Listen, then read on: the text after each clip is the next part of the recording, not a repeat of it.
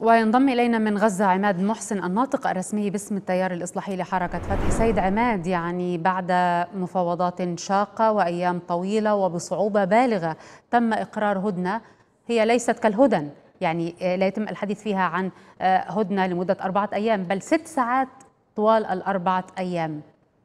تقييمك.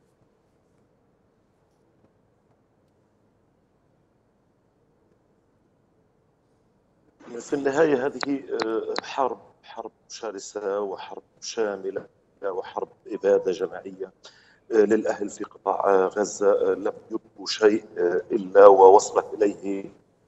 الطائرات الحربية الإسرائيلية على مدى ما يزيد عن شهر ونصف الآن. وبطبيعة تماما كما هي ضراوة المعركة في الميدان هي ضراوة وسخونة المعركة التفاوضية فيما يتعلق بإنجاز أو إتمام صفقة تبادل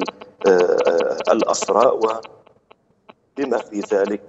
التهدئة التي ستحصل ضمن معطيات هي غاية في التعقيد سواء تعلق الأمر بشمال غزة وجنوبه أو آلية إدخال المساعدات أو تحليق الطائرات المسيرة أو طائرات المسح الجوي على مدار الساعة في قطاع غزة و بالإضافة إلى إلى ذلك قضايا تتعلق بنوعية وأسماء الذين سيفرج عنهم سواء من المحتجزين في غزة أو أسرانا بسجون الاحتلال من النساء و الموضوع ليس سهلا الكل يفهم حتى تعقيدات ما يسمى ببروتوكولات القانون الإسرائيلي الذي يحدد الوزراء ثم يحال الأمر للجمهور ثم القضاء ثم قرار العفو من الرئيس الإسرائيلي. كل هذه العملية بالحضور الأمريكي والجهود المصرية والقطرية والمفاوضات على الجانبين الفلسطيني والإسرائيلي. كل هذا صحيح ولكن يعني ك... المشهد وصولا إلى هل نتوقع الهدنة التي لا تشبه كما الهدن صحيح. طيب يعني هل نتوقع أيضا في اختيار العناصر التي سيتم الإفراج عنها؟ هل نتوقع نوع من أنواع يعني أخجل حتى من إطلاق لفظ النزاهة أو الشفافية في انتقائية هذه العناصر من قبل إسرائيل؟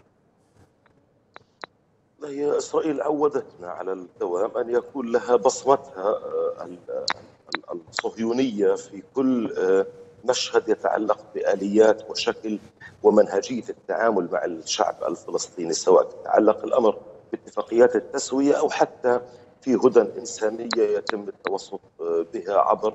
يعني قنوات عدة في هذا العالم وجهود وسطات عربية وإقليمية ودولية، لكن مع كل ذلك يعني أظن بأن إسرائيل معنية بالمزيد من الإفراج أو مزيد من الصفقات لأن لديها اسراها الموجودين في قطاع غزة وهي تعلم علم اليقين أنه إذا ما اخلت بأي مما جرى الاتفاق عليه